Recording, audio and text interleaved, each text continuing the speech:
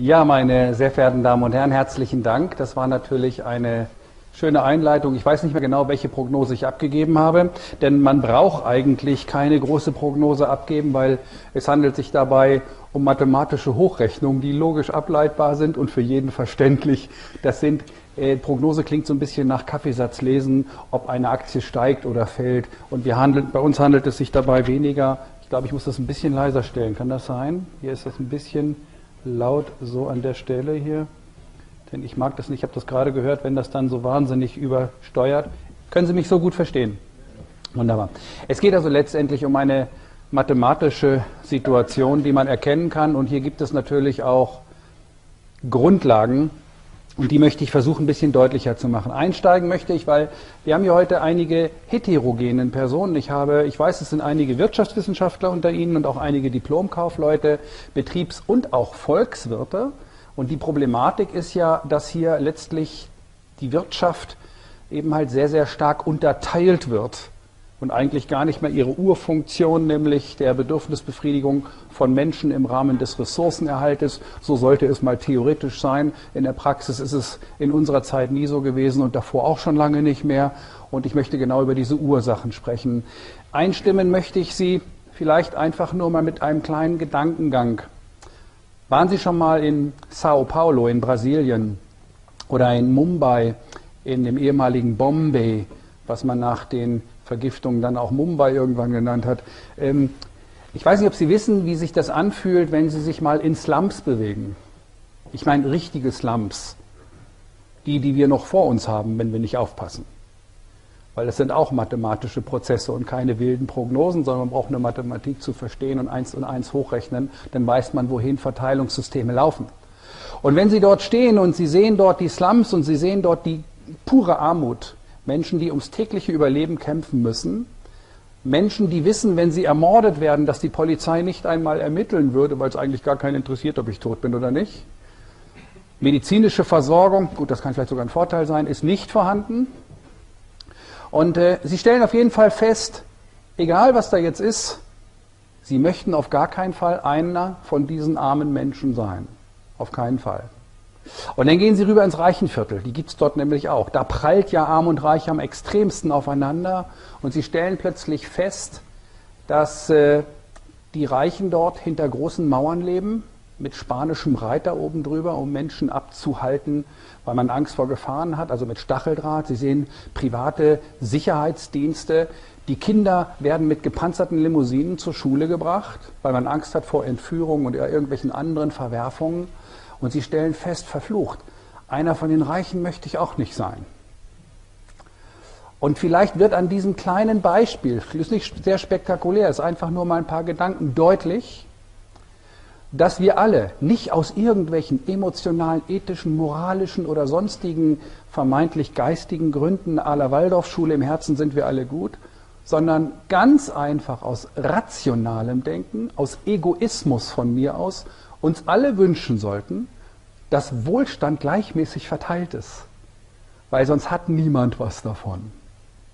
Es ist ganz wichtig, dass wenn man meint, man gehört zu der Gruppe, die vielleicht irgendwann zu den Reichen gehören könnte, sie irgendwann selbst inhaftiert ist in irgendwelchen Edelgefängnissen mit Sicherheitsdiensten und eigentlich auch ihre Lebensqualität verloren hat, weil sie eben halt auch inhaftiert sind.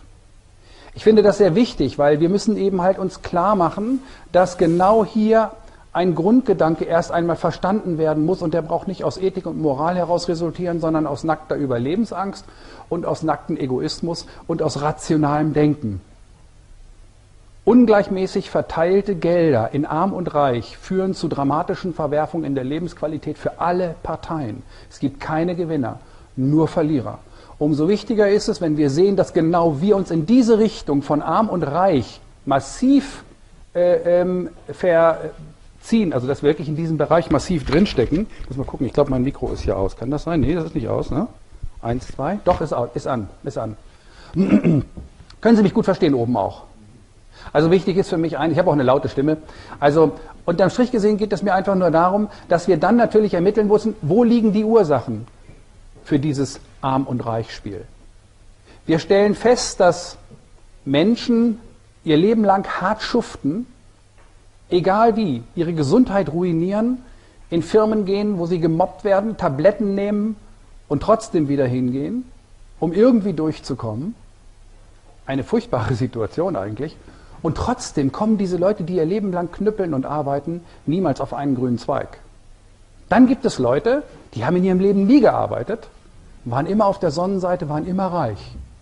Die nächsten Generationen werden es auch wieder. Und die davor waren es auch schon.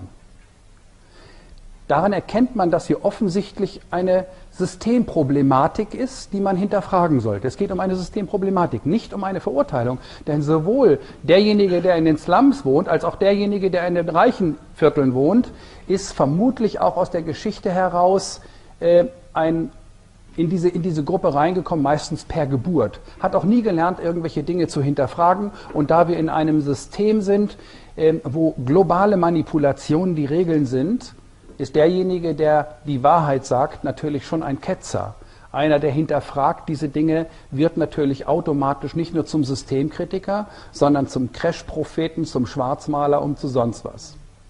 Die Ursache all dieser Verwerfung zwischen Arm und Reich liegen mathematisch begründbar in einem Prozess und das ist schon vor vielen Jahren, vor vielen, vielen Jahren schon längst erkannt worden. Und dieses Problem ist ein verzinstes Geldsystem. Das verzinste Geldsystem ist ein großes Problem, ist eine große Ursache, nämlich nicht eine, sondern die große Ursache der Umverteilung von arm auf reich. Weil wenn jemand Geld verdient ohne Arbeit, muss irgendjemand oder ganz viele arbeiten, ohne dafür entlohnt zu werden. Denn anders kann es nicht funktionieren. Das heißt, wir haben keinen Prozess, wie wir alle immer gerne sagen, von arm auf reich, sondern wir haben einen Prozess von fleißig auf reich. Weil die Leute, die letztendlich ihr Geld bekommen aus Zinserträge, die arbeiten nicht. Die sind ja arbeitslos. Es gibt ja zwei Gruppen von Arbeitslosen, die armen Arbeitslosen und die reichen Arbeitslosen. Die armen Arbeitslosen, genau wie die reichen Arbeitslosen, müssen von allen denjenigen finanziert werden, die arbeiten. Und das sind die Unternehmen und die Arbeitnehmer. Ich möchte das nicht unterscheiden. Ich rede von Unternehmen, nicht von Kapitalsammelbecken, sprich Konzerne. Siemens, Volkswagen, Mercedes-Benz sind keine Unternehmen, das sind Kapitalsammelbecken. Wer beispielsweise als ein solcher Betrieb äh, einen Vorstand sich hält, und der goldene Löffel klaut, dann kriegt er ein paar Millionen Abfindung und lebt auf den Malediven und dann war's das. Wenn ein Mittelständler äh, ein Problem hat, nur in seiner Kalkul Finanzkalkulation, dann äh, wird ihm der Gar ausgemacht und der sitzt auf einer Rathaustreppe und trinkt irgendein Billigbier aus der Büchse, weil er dann nämlich durch ist mit seinem Leben und macht eine private Insolvenz. Also wir sehen, hier gibt es unglaubliche Verwerfungen und ich möchte versuchen, diese Ursachen darzustellen. Wir stellen gerade in dieser momentan bewegten Zeit fest, ich habe Ihnen einige Folien mitgebracht, aber nicht so viele wie sonst. Ich möchte Ihnen gerne mehr erzählen, weil die Eindrücke sich momentan in eine Richtung entwickeln, die eigentlich nicht mehr groß noch zu kommentieren und auch mathematisch zu beweisen sind. Denn wenn Sie einen ordentlichen Bauch haben, dann spüren Sie das von ganz alleine. Dann erkläre ich Ihnen vielleicht aus meiner Sicht nur noch mal mein Weltbild und Sie werden vielleicht feststellen an der einen oder anderen Seite, ich habe so das Gefühl, das stimmt, was er sagt. Glauben Sie mir es nicht. Versuchen Sie in Ihren eigenen Bauch zu hören und kommen Sie auch zu anderen Schlüssen. Das ist gar nicht die Entscheidung. Aber die Ursache ist interessant. Die mache ich am verzinsten Geldsystem fest. Ich mache das. Und es gibt einige Leute, die sagen, nein, das ist ja gar nicht wahr und da gibt es auch schon viele andere, aber ich möchte auch nachher darauf eingehen, noch ganz kurz. Spannenderweise ist diese Thematik in allen gesellschafts- und politischen Strukturen niemals als Thema aufgegriffen worden und diskutiert worden. Oder hören Sie irgendeinen, der davon spricht? Niemanden. Nicht in den Mainstream-Medien in den Verschwörerseiten wie Wissensmanufaktur oder solche Sachen, wie man denn gerne so sagt. Ja? Und wir sind ja nun wirklich noch eine der ganz seriösen Seiten. Bloß wir verstoßen natürlich dann gegen ganz bestimmte Manifeste. Und das tut weh. Haben Sie schon mal darüber nachgedacht, dass, dass das verzinste Geldsystem im Rahmen einer Demokratie vielleicht einfach mal diskutiert werden müsste? Haben Sie mal darüber nachgedacht, dass ein Herr Gabriel oder ein Herr Trittin oder eine Frau Merkel oder wer auch immer die mächtigste Frau in Deutschland ist ja Frau Ackermann, möchte ich mal sagen. Und nicht Frau Merkel. Und ich möchte einfach nur sagen, haben Sie schon mal darüber nachgedacht, dass die wirklich darüber offen in irgendeiner Form diskutieren? Nein, man diskutiert nicht drüber. Egal, ob es sich um sozialistische Systeme handelt. Wer sich mit Karl Marx beschäftigt hat, wird feststellen, er hat die Arbeiter- und Arbeitnehmer Arbeitgeberklasse auseinanderdividiert, gesplittet. Und es drängt sich der Verdacht auf, dass auch er Spieler des Systems war. Und zwar derselbe Spieler wie heute auch ein Obama, der genau dasselbe macht. Oder ein Gewerkschaftsboss oder was auch immer. Und ich will hier nicht Leute angreifen, sondern sie sind alle Funktionäre und stehen natürlich unter Drücken und müssen sich irgendwie alle finanzieren, weil das ist ihr Problem.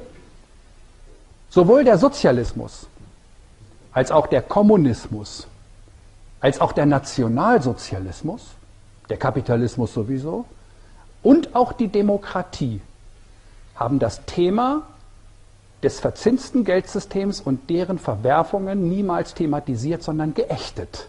Punkt. Aus diesem Grunde schließe ich ganz kesch daraus, ketzerisch heraus, dass diese ganzen Systeme offensichtlich einem Machtsystem unterliegen. Wir merken das sehr deutlich und äh, wir haben diesem Machtsystem von der Wissensmanufaktur auch einen Namen gegeben. Wir haben darüber nachgedacht. Ich freue mich, dass mein Kollege Rico Albrecht heute hier ist und sich auch seinen Nachmittag hier um die Ohren haut bei dem schönen Wetter, wie wir alle. Ich freue mich wirklich, dass Sie hier sind. Ähm, und mir geht es darum, diese Begrifflichkeit, diese Ursache, diese Krankheit, möchte ich fast mal behaupten, beim Namen zu nennen. Und die liegt, oder die bezeichnen wir als Danista. Den merken Sie sich bitte den Namen. Danista. Danista kommt aus dem Lateinischen und Danista heißt Geldverleiher, Wucherer, was ist ein Wucherer? Bei Wuchern denken wir natürlich automatisch, oh, da nimmt einer 20% Zinsen für einen Kredit. Wucher. 1% ist fair, 20 ist Wucher. Das sehe ich anders. 0,01% Zins, also leistungsloser Gewinn, ist bereits Wucher. Aber wir sind dermaßen dogmatisiert worden, dass wir glauben, wir brauchen Kredite und Kredite sind ohne Zinsen nicht möglich. Wir sind übrigens sehr schlampig mit unserer Vokabelnutzung. Wir nennen übrigens alles Zins. Wenn man uns 5% Zins nennt, dann ist das nicht nur Zins im Sinne von Guthabenszins für den Geldverleiher, sondern da ist auch eine Risikoprämie drin für eventuelle Ausfälle. Das wird gar nicht auseinanderdividiert, sondern es wird als ein Zinssatz genannt und damit ist die Sache erledigt. Das heißt, wir müssen ein bisschen deutlicher werden bei der Geschichte. Und dieses Wuchern bedeutet, dass letztlich die Zinserträge aus Kapitalsammelbecken, die immer größer werden und diese Verwerfungen hier einleiten, die dann natürlich genau das hier zum Ziel haben, was wir heute haben, abhängige Politiker eines Systems. Und wie es Rico Albrecht so schön sagt immer, die Politiker sind gar nicht dumm in den Spitzenpositionen. Das mag Sie jetzt verwundern. Aber das sind sie nicht. Sie sind ihr Geld wert. Man muss immer nur wissen, wessen Interessen vertreten sie und wofür kriegen sie ihr Geld. Und dafür machen sie es ausgezeichnet. Und wenn einer bestimmte Themen anspricht, dann wird er geächtet, wie zum Beispiel das verzinste Geldsystem. Und das nennen wir dann auch Danistakratie. Das merken Sie sich bitte mal, das ist ein Begriff, den ich außerordentlich wichtig finde, weil der Begriff Wuchern für mich auch mit Wucherungen zu tun hat. Und Wucherungen sind raumfordernde Systeme, Geschwüre, nicht vernünftige Grundsätze, die zu Verteilungssystemen eben halt in dieser Form führen. Und alle diese Leute, die das auf den Punkt gebracht haben, egal ob sie Demokraten, Nationalsozialisten, Sozialisten oder Kommunisten oder sonst was waren, alle die haben dieses Thema geächtet, obwohl es deutlich erkennbar ist und deutlich erklärbar ist. Das soll also letztendlich das Ziel des heutigen Vortrages sein, Ihnen diese Dinge ein bisschen näher zu bringen, weil ich weiß, die meisten von Ihnen sind genau in eine andere Richtung ausgebildet worden, hoch ausgebildet, auch hochintelligent. Aber die meisten hinterfragen dadurch auch nicht mehr wirkliche Ursachen. Und das ist das, was uns vielleicht in aller Bescheidenheit auszeichnet. Wir möchten gerne ein bisschen mehr darüber wissen. Das Geld. Was ist Geld? Geld ist ein bunter Zettel und den nehmen wir und den setzen wir letztendlich auf einen Tisch und dafür gibt uns jemand etwas. Geld ist also ein Anrechtsschein auf den Erwerb irgendwelcher Waren und Dienstleistungen im Rahmen eines irgendeines virtuellen Marktes ein Markt, in dem man irgendwie so drüber steht und beobachtet, wie da Leute Waren und Dienstleistungen tauschen. Das versteht man unter Wirtschaft. Austausch von Waren und Dienstleistungen. Wer ein bisschen tiefer einsteigt, der weiß, Wirtschaft setzt sich aus zwei Begriffen zusammen, aus einem Wirt und der schafft. Und wenn ein Wirt schafft, nämlich er schafft Befriedigung, nämlich von Bedürfnissen, dann bekommt dieser Begriff Wirtschaft eine andere Bedeutung und ist nicht einfach nur Austausch von Waren. Ein Bauer bewirtschaftet auch sein Feld Da ist ja noch kein Verkauf oder kein Tausch, sondern der Wirtschaftsvorgang an sich ist ja im Prinzip schon die Arbeit auch. Also Wirtschaft muss ein bisschen genauer definiert werden. Das würde natürlich zu weit führen, wenn wir da einsteigen würden. Aber selbst eine Mutter, die ihr Kind stillt, ist ja ein Wirt und sie verschafft dem Kind informell, ohne Vertrag. Sie sagt nicht, also pass mal auf, du kriegst zwar deine Milch, aber nur dann, wenn du vorher einen Arbeitsvertrag machst oder was auch immer, später mal eine Rente bezahlst. Das hofft sie zwar unterbewusst, aber mehr instinktiv. Aber das ist mehr eine informelle Wirtschaft. Es ist ganz wichtig, dass wir diese Dinge auch mal ein bisschen hinterfragen. Wir haben also Geld im Umlauf. Und Geld ist ja nicht einfach nur ein Zettel, mit dem man bezahlen kann. Denn es gibt ja nicht die Möglichkeit, dass ich mir zum Beispiel ein eigenes Geld herstelle. Mannheimer Groschen oder Ludwigshafener Taler. Und dann stehen die in Konkurrenz. Oder einer sagt, ich bin von der Firma Meier GmbH und ich mache jetzt eben halt hier meinen Meier Nuck Nuck und den gebe ich jetzt als Geld raus. Und wenn der anerkannt wird, dann bezahlen alle mit Nuck Nucks. Egal wie. Darf ich nicht. Weil Geld ist nämlich ein gesetzliches Zahlungsmittel. Das heißt, Geld ist nicht einfach nur ein Tauschmittel, sondern erstmal ein Entschuldungsmittel, was wir als Tauschmittel ohne weiteres auch bezeichnen können. So tief wollen wir gar nicht einsteigen. Aber Geld ist vor allem eine Rechtseinrichtung. Wir sind alle verpflichtet, mit Geld zu bezahlen. Es ist verboten, nicht mit Geld zu bezahlen. Umso wichtiger ist, wenn wir verpflichtet sind mit diesen Zetteln, die wir Euro oder sonst wie nennen, wir werden nachher feststellen, es gibt eh nur eine Währung, dass es dann wesentlich ist, wer die Macht über das Geld hat. Und viele glauben, das Geld ist ja staatlich. Wir sind erzogen worden, dass der Staat grundsätzlich versagt. Privat ist immer gut, weil die sind effektiv und die sind positiv und der Staat ist negativ. Das sehe ich ein bisschen anders weil dieser Staat, den wir hier haben und deren Staatsvertreter keine hoheitlichen Staatsvertreter mehr sind, sondern mehr oder weniger ausführende Organe des privaten Systems. Und privat kommt von privare, privare heißt berauben. Ich möchte das einfach nochmal hinterfragen. Aber jetzt kommt nicht die Schublade auf, jetzt kommt der Sozialist, ich bin kein Sozialist, ich komme eigentlich nicht aus der linken und auch nicht aus der rechten Szene. Beides wirft man uns regelmäßig mal vor. Denn wer es wagt, die Bandbreiten zu verlassen, der äh, ja, der wird natürlich gleich geächtet und im schlimmsten Fall gibt es in Deutschland ja die ganz bestimmte Keule und dann ist immer aus. So, und, aber das soll nicht mein Thema sein, weil ich, ich bin gar kein, gar kein Mensch, der sagt, Sozialismus, Kapitalismus, das hat es eh alles noch nie gegeben. Es hat weder Demokratie gegeben noch Sozialismus. Es gab immer irgendwelche Führungsformen wo letztendlich die Untertanen zu schuften hatten und das war eigentlich alles und das nannte man immer in verschiedenen Formen, egal wie, aber es hatte nichts mit den eigentlichen Urformen zu tun, spielt auch gar keine Rolle. Meine Damen und Herren, das Geldsystem, was wir auf dieser Welt haben, wird gesteuert über eine Weltwährung und das ist der Dollar, der US-Dollar. Nämlich die Weltwährung, hier zeigt ihr ewig dieses komische Ding hier an. Ich weiß nicht, das sieht mal aus. So. Die Federal Reserve ist jetzt damit eingeschaltet, soll eigentlich ausgeschaltet sein. Ich liebe das. So. Die Federal Reserve kennen wir alle. Die meisten meinen, die Federal Reserve wäre die amerikanische Notenbank. Das ist nicht richtig. Die Federal Reserve ist ein Gesetz, das heißt nämlich Federal Reserve Act.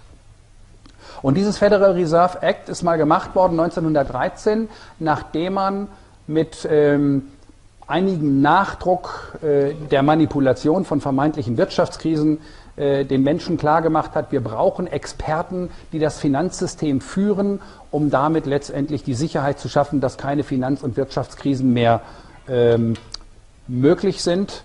Und so haben sich Menschen bereit erklärt, privater Natur, dass sie eine solche Gesellschaft, eine solche Institution, die wir Federal Reserve nennen, dass sie die eben äh, führen und übernehmen würden.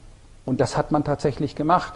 Der damalige Präsident Wilson äh, stimmte dann plötzlich irgendwie zu mit sehr kuriosen Mitteln. Eigentlich ist definitiv Weihnachten 1913, als keiner mehr von den großen Senatoren da waren, hat man das durchgepeitscht und hat das Gelddruckrecht, das heißt die Geldrechte dieser Erde, das heißt später kam es dieser Erde, hat man diese Gelddruckrechte im Prinzip vergeben an eine private Elite von Bankern. Das an sich ist auch noch nichts Dramatisches, aber das wollen wir mal festhalten, wozu das führt. Seitdem gibt es nämlich kein US-amerikanisches Geld mehr, sondern Federal Reserve Geld. Und Sie sehen, so sah mal das ganze Geld aus vor der Einführung des privaten Geldes. Und Sie sehen oben drüber, ich weiß nicht, ob Sie das sehen können, Secured United States of America. Das heißt also, wir haben hier noch ein staatliches Geld. Und man hat dann letztendlich gesagt, wir ändern es ab, nicht mehr in eine, ein Geld der Vereinigten Staaten, sondern Geld der Federal Reserve, welches die Vereinigten Staaten nutzen müssen. Deutlich wird das hier. So sieht nämlich die Federal Reserve Note aus. Und Sie sehen oben drüber, sehen Sie oben ganz klar Federal Reserve Note und darunter steht United States of America. Das heißt, diese Note der Federal Reserve, also dieser Institution, die das Federal Reserve Act vertreten, irrtümlicherweise Bank genannt, die haben das Recht bekommen, plötzlich die Geldmenge und das Geldsystem der US-Amerikaner zu regulieren, zu starten, die Menge aufzublähen und so weiter. Auf Deutsch gesagt, sie haben die Macht über das Hoheitlichste, was überhaupt ein Staat haben kann, privatisiert und übernommen. Und hier begann letztendlich ein Problem. John F. Kennedy hat natürlich gemerkt, was daraus äh, passierte. Und das war ganz interessant. Im Jahre 1963 ähm, machte er eine ganz bestimmte Veränderung im Rahmen seiner Tätigkeit. Er führte kurzfristig wieder US-amerikanisches Geld ein. Das war sein Ziel. Und Sie sehen, das ist ein Schein der zweite unter der US-amerikanischen also der tatsächlich, Sie sehen United States Note, können Sie das sehen gut? Ja, ich glaube, ich habe sie sogar noch vergrößert drauf. Sie sehen das hier. Und äh, er hatte versucht, tatsächlich die Macht des Geldes wieder in Staatshände, in Volkshände zu bekommen und eben halt denjenigen, diesen Danistakraten äh, wieder zu entnehmen, die letztendlich die Macht zu der Zeit schon übernommen hatten.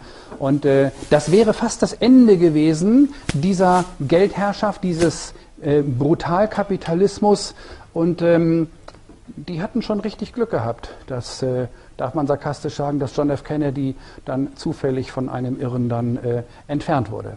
Und ähm, es ist natürlich schon eine Frage, die sich da stellt, äh, weil die erste Amtshandlung des Nachfolgers London B. Johnson war natürlich, dieses Ding sofort wieder zurückzunehmen und hat dann wieder die gute Federal Reserve Note, wie sie heute noch da ist, als Privatdollar eingeführt.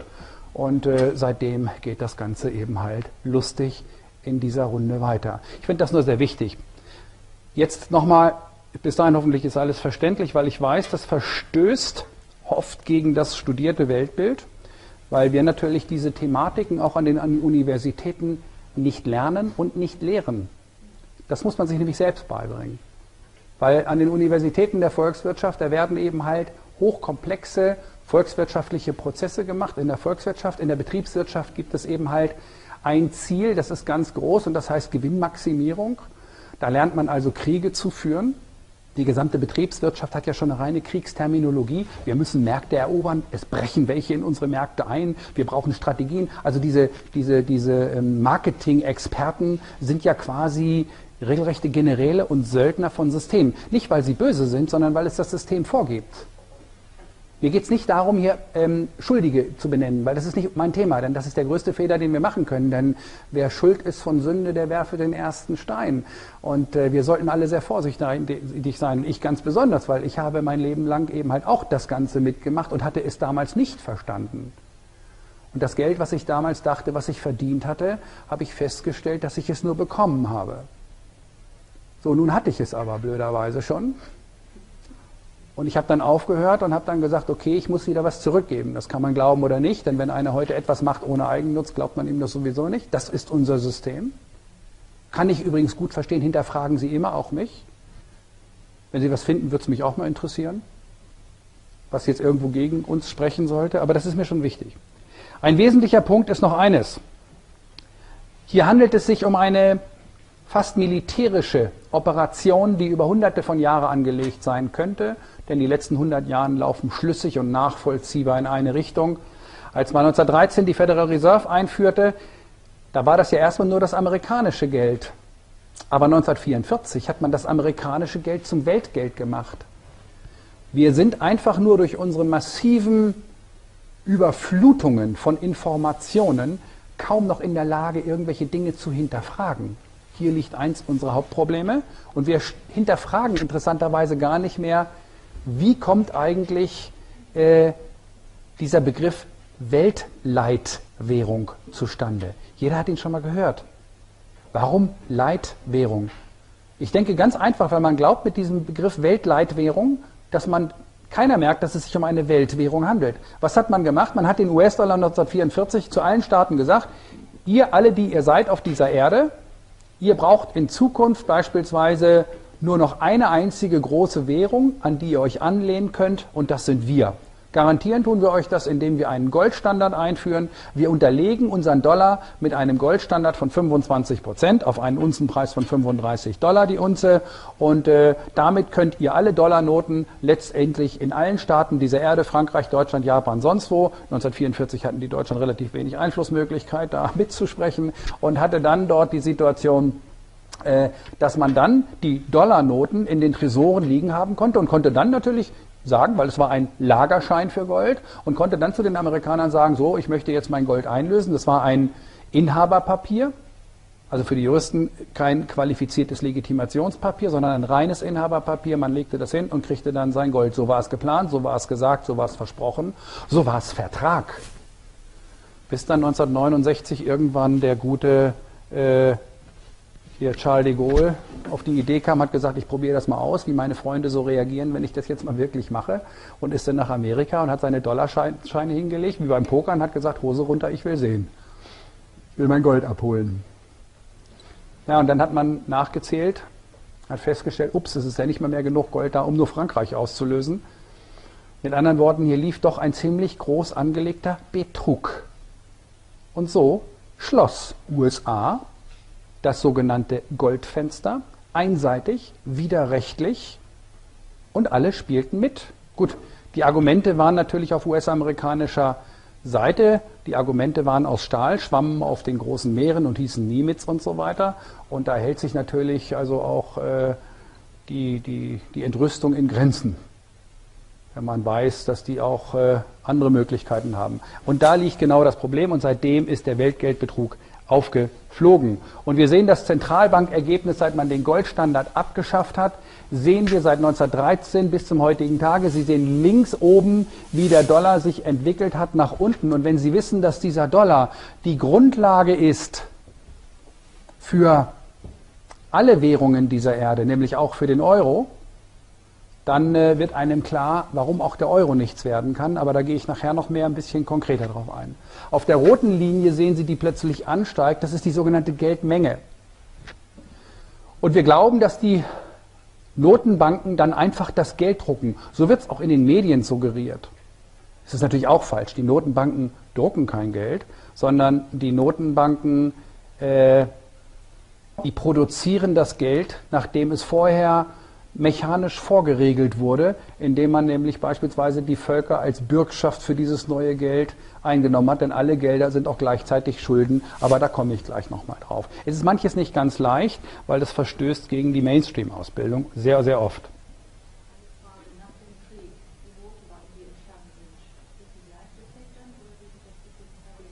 Welche, welche Notenbanken?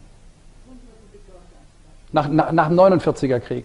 Nein, das waren die deutsche, die, die Deutsche Bundesbank war natürlich schon zu der Zeit ganz klar eine, eine, eine Dollarwährung, natürlich. Äh, wenn, die Frage ist immer, wir kommen nachher nochmal drauf, was ist der Unterschied zwischen Privat und was ist Staat? Gibt es den Unterschied zwischen Privat und Staat? Vielleicht beantworte ich das sogar mal. Nehmen wir mal die Medien. Wir wissen, dass beispielsweise das Bankensystem, das Finanzsystem alle Macht letztendlich innehat. Ich glaube, das kann keinen wirklich schocken ähm, auch wenn er im System arbeiten muss und akademisch und statistisch tätig ist. Wenn einer statistisch tätig ist, weiß er ganz genau, wie solche Manipulationen funktionieren. Aber jeder kann für seinen Job auch die Verwerfung und Manipulationen, die Unwahrheiten, ob sie in der Werbebranche oder sonst wo sind, es wird ja eigentlich nur gelogen. Das System ist ja auf Lüge letztendlich aufgebaut insgesamt. Das klingt so verurteilend, aber ich bin selbst auch Teil des Systems. Bitte nicht falsch verstehen, das ist mir sehr wichtig. Ich möchte nur mal die Gedankengänge auch mal aufbrechen, dass man sagt, lasst uns darüber mal diskutieren, wo die Ursachen eigentlich liegen und nicht die Symptome, die permanent durch Durchwurstel, Pragmatismus von links nach rechts gebastelt werden. Das kann es ja wohl nicht sein. Es muss jetzt irgendwann mal ernst sein, weil es geht jetzt hier, spätestens wenn man sich Fukushima anguckt oder Golf von Mexiko, es geht hier um die Menschheit. Das klingt jetzt so wahnsinnig hochgezogen. Oh, jetzt wird das ganz dramatisch. Nein, es geht um die Menschheit. Und ich habe eben halt zwei Söhne, die sind 29 und 30, die haben Familien, ich habe drei Enkel und ich mache mir schlicht und ergreifend Sorgen und deshalb stehe ich hier. So einfach ist diese Welt. Und äh, ich möchte einfach, dass wir diese Dinge hinterfragen. Und wenn ich sehe, dass beispielsweise die privaten Unternehmen an den Banken hängen mit den Schulden beispielsweise, sind ihre Möglichkeiten äh, frei zu agieren und zu reagieren natürlich extrem eingeschränkt. Aber das Ganze gilt natürlich auch für öffentlich-rechtliche Einrichtungen, die ja Staat sind, denn der Staat ist ja bei denselben Systemen verschuldet. Und genau hier schließt sich dann irgendwo der Kreis, dass wir zwischen privat und öffentlich-rechtlich überhaupt nicht mehr unterscheiden dürfen, weil sie sind alle, unterliegen alle demselben Grundlagen dieser selben Danistakratie. Das halte ich für eine ganz wichtige Geschichte. Vielleicht fange ich an der Stelle mal ganz kurz auf die Thematik ein, weil viele sich nicht richtig vorstellen können, wie ein Finanz- oder wie ein Geldsystem überhaupt funktioniert, wie man auch beispielsweise Geld produziert. Ich möchte vielleicht mal erklären, wie Geld überhaupt entsteht. Viele glauben, Zentralbanken sind den Geschäftsbanken übergeordnet. Viele glauben, eine EZB steht über der Deutschen Bank oder der Commerzbank. Das halte ich für ein Gerücht. Andersrum wird ein Schuh raus. Mittlerweile sind die sogenannten Zentralbanken Handlanger der Geschäftsbanken. Wir müssen langsam auch diese deutsche Sprache finden. Wir müssen auch diese direkte Ansprache finden, weil sonst bringt es nichts, wenn wir ständig im Rahmen der Political Correctness weiter lügen. Denn es gibt Political Correctness und korrekt heißt ja klar, nachvollziehbar, ehrlich und beweisbar. Political heißt, ist eine Einschränkung, also eingeschränkt korrekt. Ist es auf Deutsch gesagt eben ein bisschen Lüge vielleicht. Aber ein bisschen Lüge ist Lüge. Also lassen Sie uns mal Klartext sprechen. Wie entsteht Geld? Wir haben eine Bilanz, das wissen wir alle, und die Bilanz einer Bank ist ja etwas anders als die eines Gewerbebetriebes. Da haben wir einmal die Aktivseite und die Passivseite. Wir wissen, auf der Aktivseite liegen letztendlich die ganzen Vermögen eines Unternehmens, also alle Vermögenswerte, und auf der Passivseite die Vermögensquellen. Hier sollte auch irgendwo das Eigenkapital stehen. Das wissen wir natürlich auch. Wenn hier das Eigenkapital auf der linken Seite stehen würde, dann wäre es ein Problem. Aber jetzt haben wir hier eben halt die entsprechenden bei einer Bank natürlich die Anlagevermögen wie Immobilien, wie Fuhrpark für Mitarbeiter und so weiter. Aber was viel wichtiger ist, wir haben einen großen Bereich und das sind die Forderungen. Das ist die größte äh, Bilanzposition einer Bank. Forderungen gegenüber Kreditnehmern. Und da stehen jetzt die ganzen Leute drin. So, Jetzt kommt Andreas Popp zur Bank und er sagt, er möchte 100.000 Euro haben. Jetzt sitzt der Bankbeamte, Sparkasse übrigens waren früher noch Beamte, äh, der sitzt dann vor mir und erklärt dann, kein Problem, und äh, stellt meine Bonität fest, stellt fest, ich habe noch ein paar Sicherheiten. Das ist ja wichtig, falls ich ausfalle. Interessant. Und jetzt kommt die Position neu. Jetzt kriege ich einen Vertrag vorgelegt, wo drauf steht, ich verpflichte mich, Andreas Popp, an die Bank 100.000 Euro zurückzuzahlen mit 5% Zinsen, Tilgung lassen wir jetzt mal außen vor, meistens sogar ohne, am besten Tilgungsaussetzung, mögen die Banken am liebsten, wenn's, wenn, wenn, wenn entsprechende Sicherheiten da sind. So, und dieser, dieses, dieses Ding unterschreibe ich, diesen Kreditvertrag, und gebe ihn den Bankvertreter zurück. Der Bankvertreter hat jetzt einen neuen Vermögenswert, weil ich verpflichte mich nach diesem Vertrag, diese Forderungen zu erfüllen. Und jetzt steht hier drin beispielsweise eine weitere Forderung, und da steht drauf POP, und da steht drin 100.000. Das heißt, diese Position ist jetzt einfach neu dazugekommen. Und jetzt erhöht sich natürlich die Bilanzsumme, die vorher meinetwegen eine Million war, eine völlig kleine Summe jetzt natürlich, die erhöht sich jetzt auf 1,1 Millionen. Und jetzt muss ich natürlich auch hier auf 1,1 Millionen erhöhen, weil vorher war es ja auch einer Million. Und jetzt muss ich sehen, wo kriege ich jetzt dieses Geld her? Und jetzt kommt hier natürlich eine neue Position auch auf der Passivseite, wo drauf steht beispielsweise Girokonto, POP, und dann stehen hier wieder 100. So. Und hier beginnt letztendlich eine Situation. Ich habe durch schlichte Buchungssätze, durch eine schlichte Bilanzverlängerung hier an dieser Stelle neues Geld geschaffen. Diese 100.000 gab es vorher nicht. Und diese 100.000 stehen mir aber nun zur Verfügung, weil alles, was ich gerade gemacht habe, war notwendig, um diese 100.000 zu schaffen. Die 100.000 gab es vorher nicht. Was die meisten Leute, gerade aus den akademischen Berufsständen, gerade aus dem Bereich der Finanzmathematik, Wirtschaftswissenschaft, Volkswirtschaft, kaum vorstellen können, obwohl es bei den Bankern beispielsweise, wenn Sie Issing lesen, Ottmar Issing ist ja einer der ganz großen Banker, der ja nun auch die Giralgeldschöpfung beschrieben hat. Äh, und ich, ich habe ihn mal kennengelernt und das ist natürlich eine ganz spannende Geschichte. Und wenn ich nur einfach sehe, dass beispielsweise dort ja auch alles drinsteht, was, er, was ich hier sage, das ist nichts Neues. Das steht da drin. Es versteht nur keiner. Das große Problem, es versteht einfach keiner. Und hier liegt genau ein großer Knackepunkt. Das heißt, jetzt sind plötzlich die 100.000 aus dem Nichts entstanden. Banken verleihen nämlich kein Geld. Banken produzieren Kredite ex nihilo, aus dem Lateinischen aus dem Nichts. Und das ist einer der ganz wesentlichen Punkte und das führt natürlich zu globalen Verwerfungen, weil natürlich hier zwar vermeintliche Sicherheiten drin sind, aber wie hoch sind die Sicherheiten bewertet? Ich will nämlich gleich nämlich vor allem auch auf die momentan aktuelle Situation unseres Finanzsystems reinkommen. Deshalb mal ein bisschen in diese, in diese Problematik. Das heißt, diese 100.000 sind aus dem Nichts heraus entstanden, ich gebe sie aus und nun befinden sie sich in der Volkswirtschaft.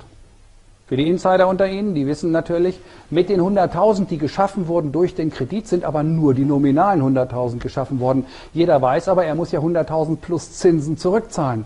Die Zinsen sind aber bei der Schaffung des Kredites, bei der Entstehung des Geldes, bei der Schöpfung des Geldes nicht mitgeschöpft worden, nicht miterschaffen worden, und woher soll ich, wenn ich jetzt 100.000 bekomme und ich muss jetzt über 20 Jahre oder 30 Jahre 200.000 zurückzahlen, weil es eine Hypothek ist, wo kommen die zweiten 200.000 Euro her?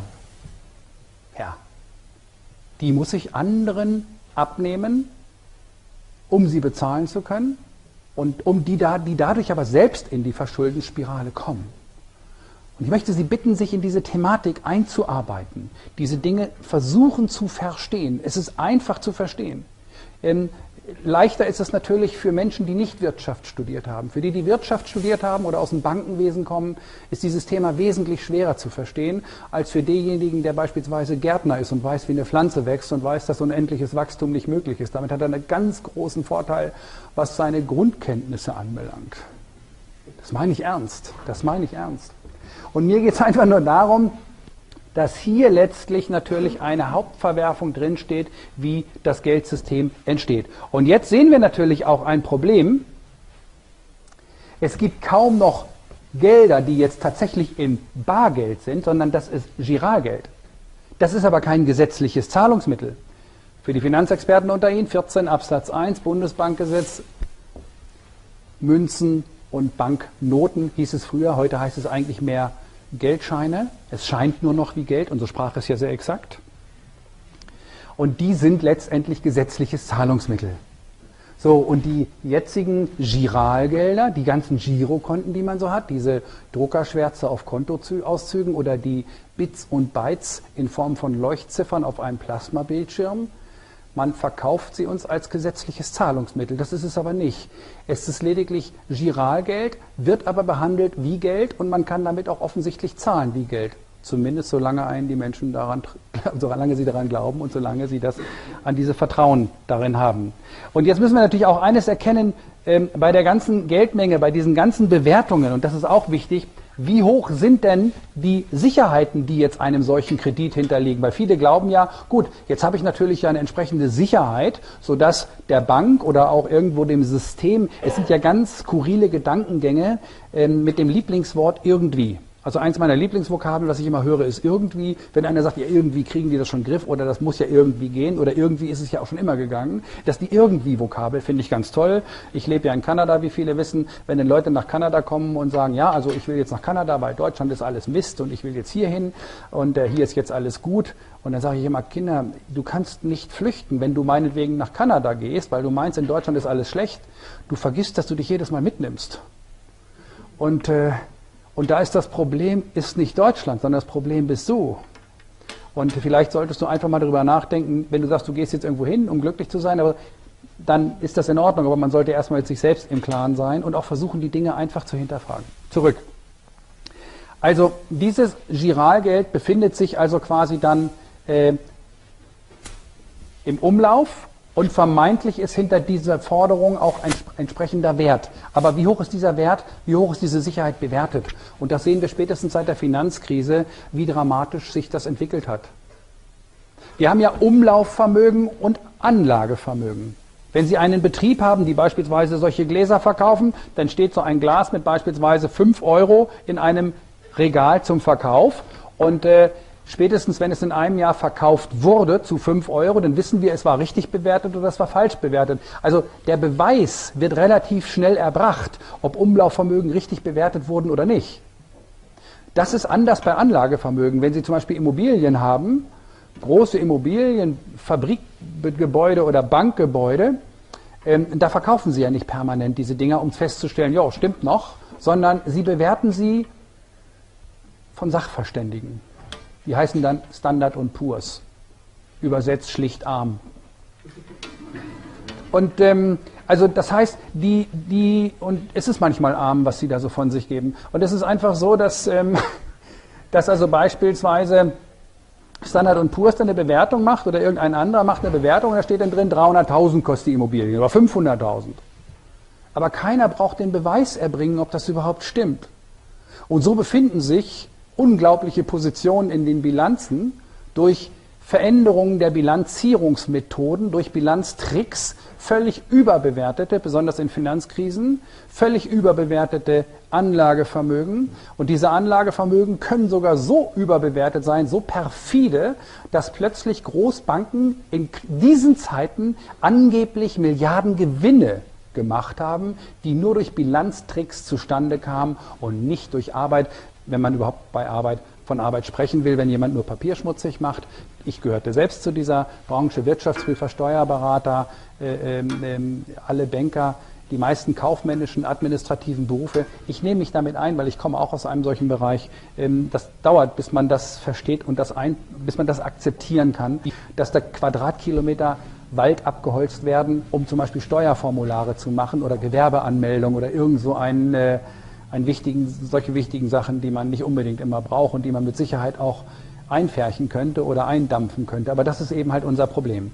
Mir ist vielleicht eines wichtig hier für Sie, ähm, dass es Verwerfungen durch diese Systematiken kommen kann, denn wenn Geld nur entsteht durch Kredit, und das ist entscheidend, denn hier ist das Geld entstanden und das möchte ich nochmal an einem ganz einfachen Beispiel. Diejenigen, die vorletzte Woche, glaube ich, beim NTV, ich glaube, ich habe jetzt vorletzte Woche ein NTV-Interview gegeben und da fragte mich die Dame im Fernsehen, das war live, das war ihr Problem, deshalb ist es auch gesendet worden. und, und hm, wie wollen wir denn unsere Schulden zurückzahlen? Da habe ich gesagt, ich weiß nicht, ob es Sinn macht, dass wir das tun. Sagt sie, wie? Ich sage, denn wenn wir die Schulden zurückzahlen, dann müssten wir ja das Geld vernichten. Da hat sie gesagt, das habe ich nicht verstanden. Können Sie mir das mal erklären? Ich sage, ja. Ich sage, stellen Sie sich mal vor, das war eine sehr nette, stellen Sie sich mal vor, das war sehr nett. Es ist, ähm, stellen Sie sich mal vor, ich komme jetzt zu Ihnen und arbeite zwei Stunden bei Ihnen zu Hause.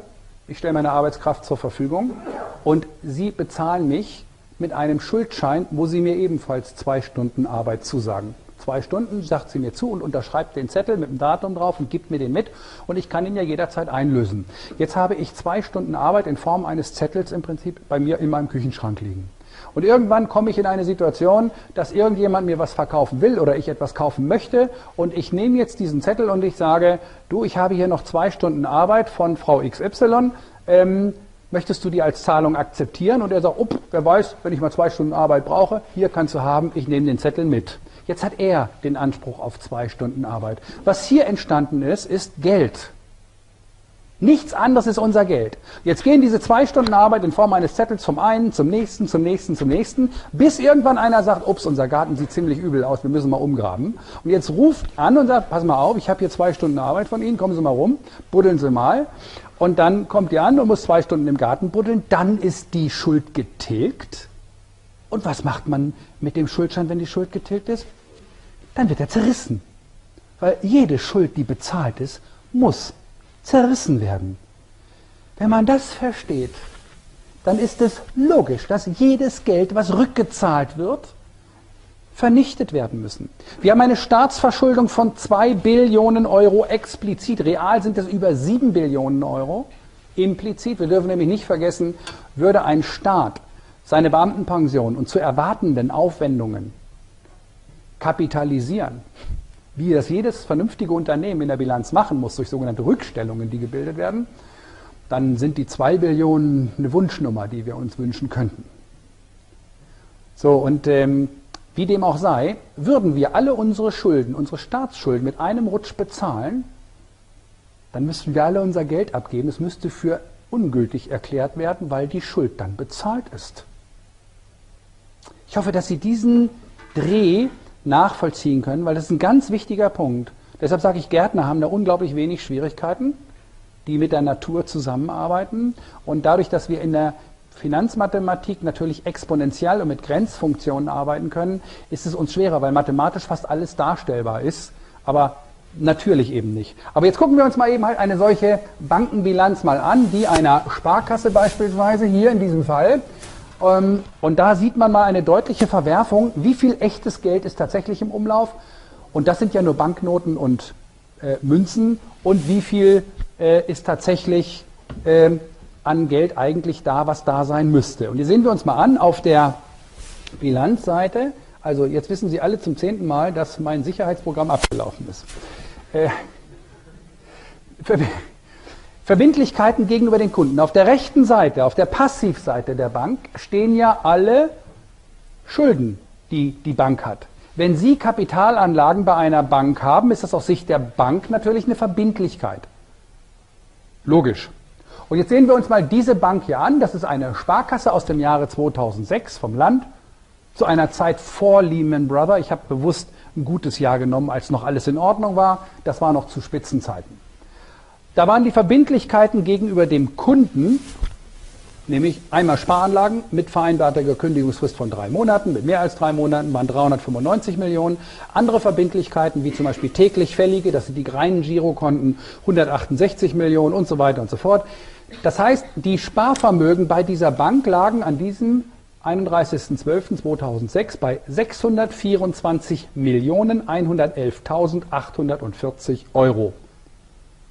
So, und nun gucken wir mal, was ist denn tatsächlich an gesetzlichen Zahlungsmitteln da? Und da stellen wir fest, das ist einmal ein Kassenbestand von, ich mache das hier einmal in groß, ein Kassenbestand von 7,426 äh, Millionen und ein Guthaben bei der Deutschen Bundesbank, das ist aber Giralgeld, das ist Zentralbankgeld, was gar kein richtiges gesetzliches Zahlungsmittel ist. Eigentlich ist nur der Kassenbestand. Aber selbst wenn wir das mit reinrechnen würden, befindet sich ein Vermögenswert in Geld, um es einfach darzustellen, in Höhe von 19 Millionen Euro. Das heißt, 624 Millionen Euro müssten da sein, falls alle ihr Geld haben wollten, und nur 19 Millionen sind real da. Vielleicht können Sie sich jetzt vorstellen, warum man so scharf darauf ist, das Bargeld abzuschaffen und möglichst alles elektronisch umzustellen. Weil wenn das rauskommt, könnte es nämlich ein paar Nachfragen geben. Spätestens dann, wenn ich 100.000 abheben will und die Bank sagt, tut uns leid, wir haben gerade Konkurs angemeldet, die letzten 20 Euro sind gerade rausgegangen. Und jetzt kommen natürlich gerne Menschen auf mich zu und sagen, ja, aber das ist ein Gedankenfehler. Denn hinter den Forderungen, die da nun sind bei den ganzen Banken, da sind ja noch entsprechende Sicherheiten. Und da sind wir wieder bei den Bilanzierungsbewertungen. Und da stellen wir dann mal fest, wenn Sie sich mal die Sicherheiten angucken bei den Subprime-Krediten, die in den USA gelaufen sind, da sehen Sie sich einfach mal an, wenn Sie sich mal die Hütten gesehen haben, die sind mit 150.000 Dollar bewertet und die haben vielleicht noch einen Wert von 20.000 Grundstückspreis abzüglich Abrisskosten von dem Restgemäuer, dann sind da noch 5.000 gegenüber. Diese Dinge hat man dann auch noch gebündelt und die Dinge hat man dann auch noch verscherbelt. An die Deutsche Bank und die haben sie dann an die WestLB und die wird jetzt gerade intellektuell an die Wand genagelt, weil sie angeblich zu blöd waren. Was ich unterschreibe, aber das ist nicht die Ursache. Ja? Also mir ist nur ganz wichtig, dass diese Zusammenhänge sehr deutlich werden. Und all diese Funktionen, die wir dort haben, all diese Situationen führen natürlich zu etwas anderem, nämlich zu weiterer Verschuldung. Denn eins ist definitiv, wenn wir uns hier ansehen beispielsweise, dass der Pop diese 100.000 irgendwann zurückzahlt, die ja hier als Schuld sind, dann werden natürlich diese 100.000 gestrichen und die Bilanz verkürzt sich wieder auf 1,0 Millionen aber vorher habe ich noch einige in die Schwierigkeiten gebracht, weil ich meine Zinsen bezahlen musste aus deren Altgeld. Das heißt, hier ist quasi ein inszenierter Krieg vorprogrammiert zwischen den Menschen und der basiert auf das Finanzgeldsystem und führt natürlich dazu, dass einige wenige Leute tatsächlich das Recht haben, Geld zu produzieren. Und die Geldproduktionsinhaber, die Rechtsinhaber der Geldproduktion, da liegen letztendlich die Ursachen unserer Verwerfung. Und wenn dann beispielsweise äh, Politiker sich hinstellen und sagen, wir müssen mehr sparen, übrigens ein völlig verfehltes Wort. Sparen heißt Ansammeln von Guthaben. Man meint kürzen. Wir achten gar nicht mehr drauf. Ja, also, die haben da ein neues Sparpaket. Ja, immer toll. Dann können sie es ja langsam ausgeben, wenn sie so viel gespart haben. Nein, die sparen ja gar nicht. Die kürzen. Aber man muss es ja positiv darstellen. Heißt ja auch nicht Schuldenpapier, es heißt ja Wertpapier heißt ja Bundesschatzbrief statt Bundesschuldenbrief. Das ist ja diese Absurdität. Denn wir müssen ja letztendlich den Menschen, das ist ja das Verrückte, überlegen Sie mal, wir kriegen tatsächlich erklärt, Bundesschatzbriefe sind eine sichere Kapitalanlage. Weil der Staat muss sich natürlich immer mehr verschulden. Weil wenn alle ihre Schulden nämlich zurückgezahlt haben und die Bilanz sich verkürzt und plötzlich kein Geld mehr da ist, wo soll denn das neue Geld herkommen? Dann müssen ja neue Schulden. Wenn aber ich keine Schulden mehr machen kann, der Mittelstand keine Schulden mehr machen kann, der Privatverbraucher keine Schulden mehr machen kann und die Großkonzerne keine Schulden machen müssen, weil sie selbst zu dem Danisterkratensystem gehören. Das sind ja im Prinzip die, äh, ähm, die Aggregate, die ja letztendlich die Raubzüge ja durchführen, auch im Rahmen des Systems. Kriege, Pharmaindustrie, Fleischlobby und so weiter. Ich spreche das ganz deutlich an zu Lasten unserer Umwelt und zu Lasten eben halt der Zukunft unserer Kinder. Das muss man einfach mal deutlich sagen dürfen, auch wenn das nicht passt. So, dann entsteht natürlich letztendlich irgendwann ein Problem, dass kein Geld mehr da ist und dann muss das der Staat machen. Und der Staat holt sich das dann, und jetzt wird's lustig, von uns wieder. Also, wir wissen, der Staat lebt über seine Verhältnisse, aber noch lange nicht standesgemäß. Und die Steuern reichen interessanterweise nicht aus. Warum reichen die Steuern nicht aus? Weil ja äh, die Danistokratie unglaublich viel Zinsen einfordert, ständig. Das heißt also beispielsweise, der Staat braucht Geld, um die Zinsen bei der Bank zu bezahlen. Commerzbank, Deutsche Bank, wie auch immer. Und jetzt, weil die Banken sind ja momentan in Schwierigkeiten und können ja nicht mehr bezahlen. Die sind ja jetzt in einer Bankenkrise, wie wir gehört haben. Und jetzt muss der Staat dafür aufkommen. So, jetzt hat die Bank aber kein Geld mehr und braucht Hilfe. Und jetzt kommt der, der Staat Bundesrepublik und jetzt gucken wir in die Staatskasse und da stellen wir fest, wir haben zwei Billionen Minus. Und da greifen wir jetzt rein und holen noch was raus. Und das geben wir dann den Banken, damit die wieder Geld haben. Natürlich können wir kein Geld direkt rausnehmen, weil ja gar kein Geld drin ist. Da sind ja zwei Billionen Minus drin, sondern wir müssen es uns vorher von den Banken ja leihen die aber eigentlich gar kein Geld haben, sondern das Geld brauchen. Wie können die uns was leihen, wenn sie gar nichts haben? Eigentlich ist das nur eine Umschuldung der Steuerzahler vom Staat ins Finanzsystem. Das ist eine Umleitung. Eigentlich sollten wir unsere Steuern direkt an die Deutsche Bank bezahlen, dann sollen sie das noch überbehalten, was noch übrig bleibt, nachdem sie ihre Zinsen abgezogen haben. Und da können wir dann noch ein paar Prekärjobs mit in Gang halten. Das ist unsere Situation. Klingt hart, Stimmt aber leider. Nicht politisch korrekt, aber Wahrheit. Meine Wahrheit. Kommen Sie zu anderen Gedanken? Meine Wahrheit ist das. Nicht frustriert. Ich bin nicht frustriert, denn ich sehe eine unglaubliche Entwicklung, auch ins Positive. Also was für mich wichtig ist, ist eben halt nur, dass diese Zusammenhänge verstanden werden. Und wenn Sie beispielsweise einen Bundesschatzbrief zeichnen, weil Sie meinen, das ist sicher, dann gehen Sie zur Bank und Sie verla äh, zur Bank, Sie gehen also zum Staat über die Bank Das ist eigentlich schon ganz witzig. Und sie, sie geben jetzt quasi Geld dem Staat. 100.000 Euro, 10.000 Euro. Und der gibt ihnen dafür 3% Zinsen. Jetzt sind sie Gläubiger des Staates. Blöderweise sagt man ihnen ja auch andersrum, sie sind selbst der Staat. Du bist Deutschland. Das sind dann so die ganz dummen Werbekampagnen. Das heißt also, du bist Deutschland, du bist der Staat. Wenn ich der Staat bin und der Staat der Schuldner ist, aber ich der Gläubiger bin, aber gleichzeitig Gläubiger, dann bin ich ja Staat und bin ich ja Gläubiger und Schuldner gleichzeitig. Denn nämlich, wo kriegt denn der Staat die Zinsen her, die ich für meine Bundesschatzbriefe haben möchte? Aus den Steuergeldern. Und wer zahlt die? Ich. Also, wenn ich jetzt ganz viel Bundesschatzbriefe kaufe, dann erhöht der Staat also letztendlich die Steuern, damit ich mehr Steuern bezahle, damit ich dann meine Zinsen bezahlen kann. Merken Sie die Absurdität? Ein draufsetzen kann man es noch blöder, indem man noch eine Lebensversicherung mit einschließt, als Zwischenhändler. Da geht man also los und bezahlt im Prinzip sein Geld einer Lebensversicherung. Wir glauben ja, eine Lebensversicherung ist irgendwas mit Kapitaldeckung. Wir haben eine kapitalgedeckte Lebensversicherung. Das ist ja gar nicht wahr. Rico Albrecht ist ja nun unser Mann, der ja gerade Furore gemacht hat mit dieser Thematik und mit dem Aufsatz als Dozent. Gerade in Kanada hat er ja einen großen Vortrag gehalten. Da saß ich ja mit im Raum äh, über das Thema Lebensversicherung. Lebensversicherung, wer so etwas abschließt, der schließt eigentlich einen Schuldvertrag ab, einen Kreditvertrag. Von Kapitaldeckung kann da gar keine Rede sein. Denken Sie mal darüber nach. Wenn Sie einen Bundesschatzbrief kaufen, dann kriegen Sie ein Papier und Sie zahlen dafür Geld. Bei einer Lebensversicherung ist das genauso. Sie kriegen ein Papier, da heißt es dann Police, mit dem Unterschied, dass Sie bei einem Kreditvertrag Ihr Geld sofort bekommen und können dann untergehen. Bei einer Lebensversicherung ist es so, man sagt, du zahlst jetzt schon mal ein und du kriegst in 40 Jahren dann dein Geld ausgezahlt. Und so lange zahlst du diesen Kredit ab, den du jetzt hier aufgenommen hast. Das ist letztlich so. Jetzt kriege ich also eine Police in die Hand gedrückt und zahle monatlich oder mit Einmalzahlung im Prinzip das Ding quasi ab. Von Kapitaldeckung kann da keine Rede sein. Das ist eine Abzahlung eines Fremdkapitals, eines, einer Schuld. Und das Spannende ist, dass das Geld, was ich dort einzahle, dass dieses Geld ja nicht ähm, bei der Lebensversicherung separiert wird als mein Kapital, sondern das fließt ja in deren Eigenkapital drin. Falls sie pleite gehen, dann habe ich das unternehmerische Risiko, wie man so schön sagt. Kommt bei allen Lebensversicherungen, kann ich Ihnen so sagen. Die Lebensversicherung ist auch ein mathematischer Prozess. Die sind alle pleite, es ist nur noch nicht zugegeben worden. Und solange es keiner zugibt und alle machen irgendwie weiter, macht man es halt. Aber sie sind pleite, natürlich. Kann auch gar nicht anders, weil sie sind dasselbe System. Sie kaufen nämlich Bundesschatzbriefe. Und wenn Sie jetzt Bundesschatzbriefe kaufen, Sie zahlen also monatlich Geld rein, dann zahlt die Lebensversicherung, kauft dafür Bundesschatzbriefe für Sie als Kapitalanleger.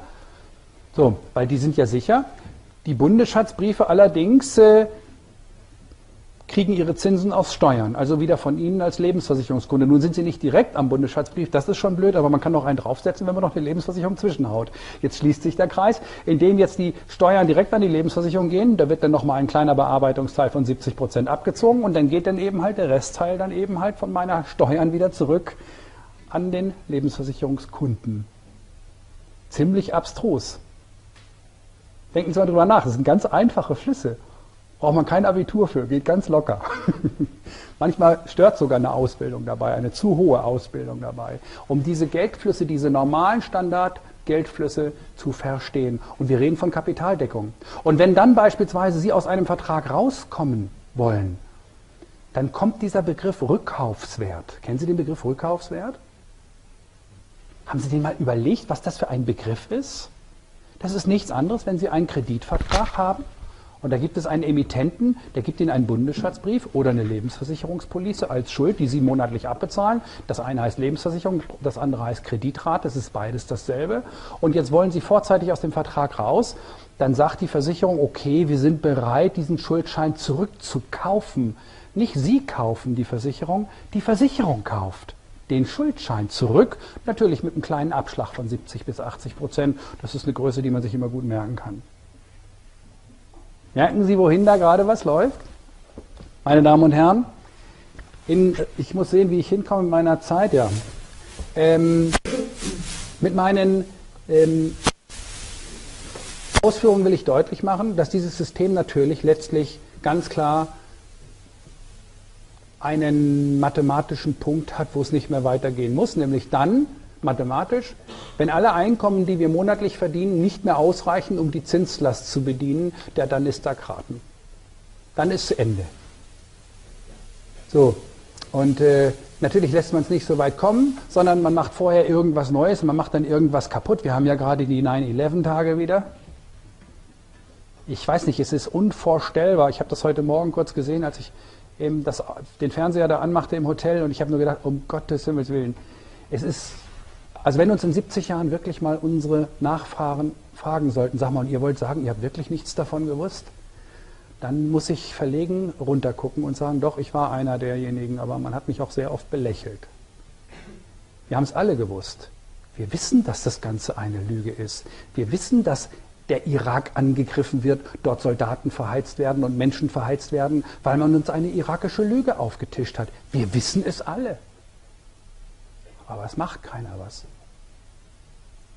Weil die Manipulationsmechanismen so unglaublich gewaltig sind, dass wenn wir dann NTV und ARD und öffentlich-rechtliche Sender, die sind ja noch ein bisschen seriös, ich frage mich warum, die öffentlichen rechtlichen Sender gehören dem Staat. Und der Staat muss gerade ein paar hundert Millionen für Banken finanzieren, die in Griechenland in ihrem Bahn Geld versenkt haben. Das heißt, der Staat befindet sich in einer Schuldenspirale bei den Banken. Warum sollen die ausgerechnet anders in ihrer propagandistischen Wirkung auftreten als, als Private? Ist das wirklich noch der große Unterschied? Mir tun viele Journalisten sehr, sehr leid und das meine ich ganz ernst, weil es gibt sehr, sehr hervorragende investigative Journalisten, aber wer es wirklich wagt, die Dinge beim Namen zu nennen, hat große Schwierigkeiten. Ganz große Schwierigkeiten. Gesetz über den Lastenausgleich. Ich möchte noch mal ganz kurz erklären, wie man sowas regelt. Staatsbankrott. Ich komme gleich nachher noch mal drauf, wenn wir eine Zusammenfassung machen. Der wird den größten Teil des, der, des, des, des Vortrags heute ausmachen. Ähm, ich weiß nicht, das kennen vielleicht einige von Ihnen, Paragraph 15 Sparerschäden von 1949. Wenn die neue Währungsreform kommt, dann sind Geldwerte weg. Nous avons, vous avez, nous avec. Und was haben wir da? Paragraph 15 von 1949. Ein Sparerschaden ist die Minderung des Nennbetrages von Sparanlagen die dadurch eingetreten ist, dass die Sparanlagen bei der Neuordnung des Geldwesens im Geltungsbereich des Grundgesetzes einschließlich Berlin-West spannend. Damals war das auch schon so, dass Berlin nicht zu Deutschland gehörte. Im Verhältnis 10 zu 1 oder in einem ungünstigeren Verhältnis auf deutsche Mark umgestellt worden ist. Interessant, es gab also mehrere Umrechnungsfaktoren, das war das Problem, weil viele glauben, wenn Inflation kommt, also das heißt, wenn wir eine Währungsreform hätten, dann würden die Schulden gestrichen. Richtig, aber nur beim Staat, nicht bei den Privaten. Die werden aufgewertet. Auch das habe ich sehr oft genannt. Wenn also momentan Leute losgehen und sagen, ich mache jetzt nochmal schnell Schulden, kaufe mir nochmal schnell irgendwo ein Haus oder ein anderes Anlagegut und wenn dann die Währungsreform kommt, dann ist die Hütte immer noch da, aber die Schulden sind dann gestrichen. Irrtum. Die Schulden werden dann höher sein als vorher. Höher. Ganz klar. Bitte lassen Sie sich nicht auf halbseitende Aussagen ein nach dem Motto, mach schnell Schulden und partizipiere von einer Währungsreform. Das ist unseriös. Ganz deutlich. Ähm, weil Sie sehen nämlich, hier sind Umrechnungskurse 10 zu 1 oder ungünstiger, weil Guthaben anders umgestellt wurden als Schulden. Und wenn die Schulden beispielsweise 1 zu 6 umgestellt werden und die Guthaben 1 zu 10, dann können Sie ganz klar sagen, wenn eine neue Währung da sind, dass die Schuld insgesamt sich erhöht hat. Und das ist das, was viele Leute nicht wirklich verstanden haben. In meinem Buch, der Währungscountdown, beschreibe ich diese ganzen Dinge sehr genau, äh, gerade was die Lösungssituation anbelangt, wo ich versucht habe, die Grätsche hinzubekommen zwischen Wissenschaftler und Privatpersonen, die sich mit diesen Dingen einfach beschäftigen wollen. Die können eigentlich dieselbe Ansprache ab, wenn man nämlich die wissenschaftliche Nomenklatur, also das Fach Chinesisch, rausnimmt. Kurz nochmal auf die, den Absatz 2 ähm, dieses Paragraphen 15 von 1949 Sparanlagen im Sinne des Absatzes 1 sind. Also das sind alle, ähm, alle Kapitalanlagen, die ähm, entwertet wurden im Rahmen der Währungsreform. Nur, dass Sie sich schon mal darauf einstellen, das könnte relativ kurzfristig wieder der Fall sein. Alle Spareinlagen, also Girokonten und so weiter, Postspareinlagen, Bausparguthaben. Eine der schlechtesten Kapitalanlagen, glaube ich, das hat sich mittlerweile rumgesprochen, ähm, dass man ähm, dass das wirklich eine schlechte Finanzierungsform und auch eine schlechte Kapitalanlageform ist. Äh, also das ist wirklich Wahnsinn. Pfandbriefe, Rentenbriefe, Kommunal- und andere Schuldverschreibungen, Schuldverschreibungen, verzinsliche Schatzanweisungen des Reichs. Nochmal zur Erinnerung, das sind die Anlagen, wo man seine Zinsen selbst bezahlt in Form von Steuern. Ja, auch schön als Frau Merkel und Herr Steinbrück sich damals hinstellte und sagte, meine Damen und Herren, wir möchten Ihnen sagen, Ihre Sparguthaben sind sicher. Da habe ich gedacht, jetzt beleidigt sie mich wirklich. Weil so blöd kann sie mich nicht einschätzen. Oder sie beide. Weil wenn, wenn ich der Staat bin und sie für mich spricht und sie sagt, wir garantieren Ihnen, also ich garantiere mir, dass meine Sparguthaben sicher sind, dann hätte sie den Satz einfach weglassen sollen. Das heißt, ich garantiere für meine eigenen Guthaben. Das Schlimme ist, dass diese Absurditäten so standardisiert sind, dass es keinen Aufschrei, keinen Massendemos gibt gegen solche 9-11-Dinge, äh, äh, die momentan laufen, Propagandageschichten, die sind einfach unglaublich. Und das ist schlimm für die Menschen, die das damals miterleben mussten. Was dort gelaufen ist, ein furchtbares Trauma. Ich glaube, jeder von uns hat dieses Trauma erlebt. Aber die Ursachen, ich weiß nicht, wer es war. Aber es gibt sehr viele Hinweise, die dafür sprechen, diesen Fall einmal angemessen zu untersuchen. Mehr sag ich gar nicht. Und wenn man das ablehnt, dann sage ich, dann hat einer Dreck am Stecken. Ganz einfach. Ähm, Industrie- und gleichartige Schuldverschreibungen also sind natürlich auch entlastet worden. Denken wir an die, heute heißen die Dinge Genussscheine. Ja, Genussscheine klingt so toll, weil man da irgendeinen Genuss hat. Nein, ähm, man, es ist, eine, es ist eine, eine, eine, Schuld, eine Schuldverschreibung und man ist nicht an einem Unternehmen beteiligt, wie einem immer erklärt wird, dass, dass man sagt, okay, also du bist jetzt, hast jetzt einen Genussschein von der Firma XY, finanzierst die mit und dir gehört auch